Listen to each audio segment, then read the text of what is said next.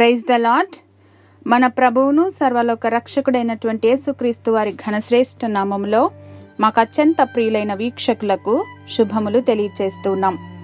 యోహాను సువార్త పదహారవ అధ్యాయము ముప్పై మూడవ వచనము.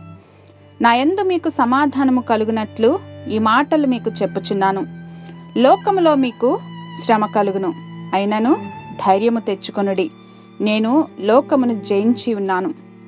లోకమును జయించిన విజయము మన విశ్వాసమే. ఇక్కడ మూడు అంశాలున్నాయి మొదటిది యేసుక్రీస్తు ప్రభువు సంఘము లోకంలో ఉంది. ఈ లోకము సర్వశక్తులన్నింటితో కలిసి సంఘానికి విరోధంగా లేస్తుంది. క్రీస్తు సంఘము వీటన్నింటినీ జయించి నిలుస్తుంది.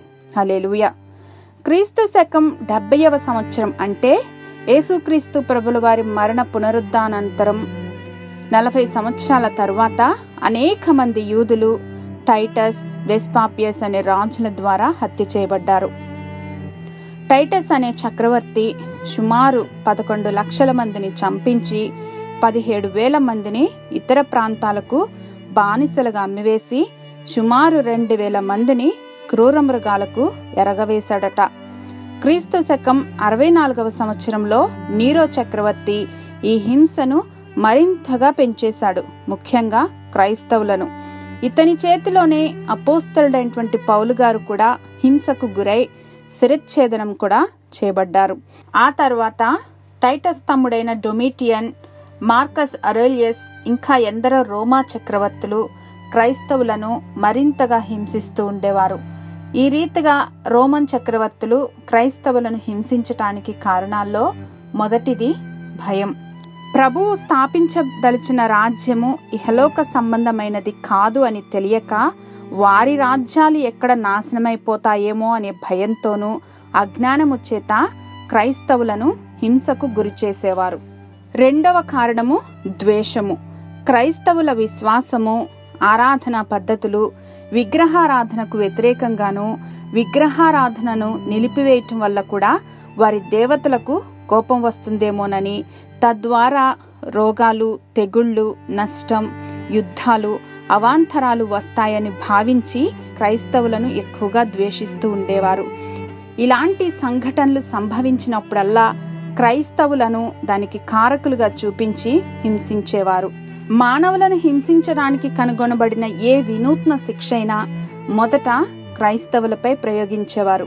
వాతలు వేయటం కొరడాలతో కొట్టటం నేలపై ఈడ్చటం చర్మమును ఊడదీయటం రాళ్ళతో కొట్టటం చీకటి గోతుల్లోకి దింపటం శరీరావయవాలను సాగదీయటం నూనెలో కాల్చటం క్రూర మృగాలకు ఆహారంగా వేయటం ఇలా ఇంకా వికృతంగా చనిపోయిన వారి శవాలను సమాధి కార్యక్రమాలకు అప్పగించకుండా కుక్కలను కాపలాగా ఉంచేవారట. ఇన్ని చిత్రహింసలు ఉపద్రవాల్లో కూడా అపోస్తలుల బోధయందును పరిశుద్ధాత్ముని నడిపింపులో దేవుని సంఘము దిన దినము వర్తిల్లుచునే ఉంది. అటువంటి త్యాగధనుల యొక్క త్యాగపూరిత చరిత్రను హింసలలో కూడా దేవునిపై అమిత విశ్వాసమును చూపించిన విశ్వాస ధీరుల గాథలను విని మనమంతా ప్రోత్సహించబడదాం. శ్రమైనను బాధైనను హింసైనను కరువైనను ఉపద్రవమైనను ఖడ్గమైనను ఏది కూడా క్రీస్తు ప్రేమ నుండి మనలను ఎడబాపున అయినను మనలను ప్రేమించిన వాని ద్వారా మనము వీటన్నింటిలో అత్యధిక విజయము పొందుచు ఉన్నాం. హలెలుయ బ్లాండీనా బానిసగా కొనుపోబడిన ఒక యవ్వనస్తురాలి విజయ గాథ. క్రీస్తు కొరకు బహుశ్రమలను అనుభవించిన స్త్రీలలో బ్లాండీనా ఒకరు. క్రీస్తు శకం రెండవ శతాబ్దంలో ఇప్పటి ఫ్రాన్స్లోని మూడవ అతిపెద్ద పట్టణమైన లియోన్ అనే ప్రాంతంలో ఈమె పుట్టారు. కొందరు మిషనరీస్ ద్వారా లీనస్ అనే ప్రాంతంలో సంఘం స్థాపించబడింది. ఆ ప్రాంతాన్ని మార్కస్ ఆర్లియస్ అనేటువంటి వ్యక్తి పాలిస్తూ ఉండేవాడు. సంఘము అభివృద్ధి చెందటం ప్రారంభంగానే పర్సిక్యూషన్ కూడా మొదలైంది. మొదటి రెండు శతాబ్దాల్లో ఎక్కువ శాతం రోమన్ అధికారులు క్రైస్తవులను హింసించి చంపేవారు. హింసించిన కొలది విశ్వాసులు అంతకంతకు బలపడుతూ సంఘము అభివృద్ధి చెందుతూ ఉండటంతో ఇక క్రైస్తవత్వాన్ని ప్రాంతీయ సమస్యగా భావించి ఏ ప్రాంతం వారు ఆ ప్రాంత సమస్యలను తీర్చుకోవటం ప్రారంభమైన దినాల్లో ఈ మార్కస్ ఆరిలియస్ అనేటువంటి వ్యక్తి యొక్క పాలన ప్రారంభమైందనమాట క్రైస్తవులు తమ విశ్వాసాన్ని క్రీస్తుతో తమకున్న సాన్నిహిత్యాన్ని ప్రదర్శించినప్పుడు వారిని మొదట బంధించి తుదకు హతం చేసేవారు. వీరిని హింసిస్తున్నప్పుడు ఇతర క్రైస్తవులు ఇంకా మిగిలిన పౌరులు కూడా చూచి భీతి కలిగి ఇటువంటివి పునరావృతం కాకూడదని హెచ్చరికగా యాంఫీ థియేటర్ అనే ప్రాంతం వద్ద బహిరంగంగా శిక్షించేవారు. వేడివేడి నూనెలో కాల్చటం నిప్పులపై కాలుచూ ఉన్నటువంటి కుర్చీలో కూర్చోబెట్టడం ద్వారా ఆ వేడిమికి చర్మం కాలిపోతూ ఉండటం వేడిమికి ఉడికిపోవటం ఇన్ని వేదలను తట్టుకుని ఎవరైనా ఇంకా బ్రతికి ఉంటే వారిని యాంఫీ థియేటర్లో ప్రేక్షకులందరి ముందు క్రూర మృగాలకు అర్పించేవారు. ఇలా దాదాపు నలభై ఎనిమిది మందిని చంపినట్లు చరిత్ర ఆధారాలున్నాయి. ఇలా హింసింపబడిన వారిలో బానిసగా కొనిపోబడిన బ్లాండినా అనే యువతి కూడా ఒకరు. ఈమెను తీసుకెళ్తుండగా బ్లాండినాను విశ్వాసంలోనికి నడిపిన వారు బలహీనమైన ఈమె శరీరం శ్రమలకు తట్టుకొనగలదా అని సందేహపడ్డారట. ఉదయం నుండి సాయంత్రం వరకు ఆమెను హింసించిన హింసకులు అలసిపోయేవారు కానీ ఈమె మాత్రం అలసిపోకుండా హింసలను తట్టుకోగలిగిన కృపను దేవుడు దయచేశారు. శరీరం చీల్చబడినా కూడా క్రీస్తునందు తనకున్న నమ్మకాన్ని మరింత గట్టిగా సాక్ష్యం చెప్పింది. ఒక ఎత్తైన దుంగకు బ్లాండినాను వేలాడదీసి అడవి మృగాలను ఆ కొయ్య క్రింద విడిచిపెట్టారట. ఆ మృగాలు ఆమెను ముట్టలేదు. ఆనాడు దానియలు గారిని ముట్టకుండా సింహాలకు ఆజ్ఞాపించిన దేవుడు ఇక్కడ ఈ మృగాల నోళ్ళను కూడా ముయించారు. ఇంకో అద్భుత సాక్ష్యం ఏమిటంటే ఆనాటి ఘటనను చూచిన వారందరూ సిలువ వేయబడిన క్రీస్తు మాకు ఆమెలో కనబడెను. తద్వారా మేము కూడా మరింత ఆదరింపబడ్డాము. క్రీస్తు కొరకు నిలవబడటానికి శక్తితో నింపబడ్డామని సాక్ష్యమిచ్చారట.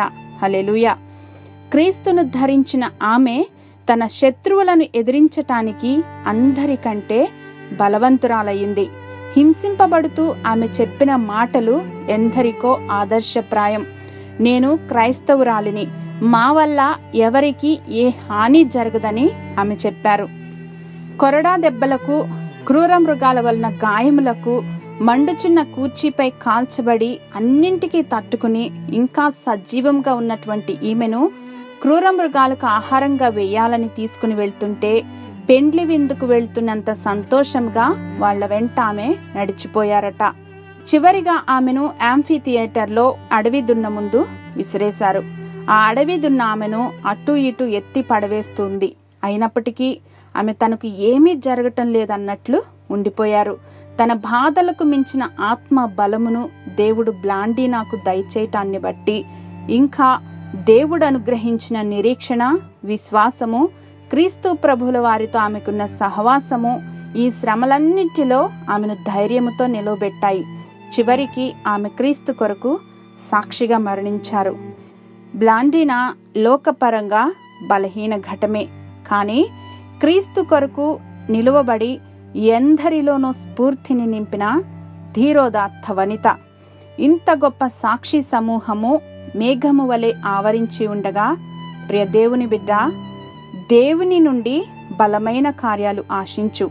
దేవుని కొరకు బలమైన కార్యాలు తలపెట్టు. పెను సవాళ్ళకు కృంగిపోక అపాయమును చూచి వెనుకాడక బాధనక తమ విశ్వాసమును అంతము వరకు కొనసాగించి కాపాడుకొనిన ఇటువంటి వీరులను మాదిరిగా చేసుకుని స్ఫూర్తి పొందుటకు దేవుడు మనకందరికీ తన కృపను అనుగ్రహించునుగాక. సమస్త మహిమ ఘనత ప్రభావములు దేవాది దేవునికే చెల్లునుగాక. ఆమెన్.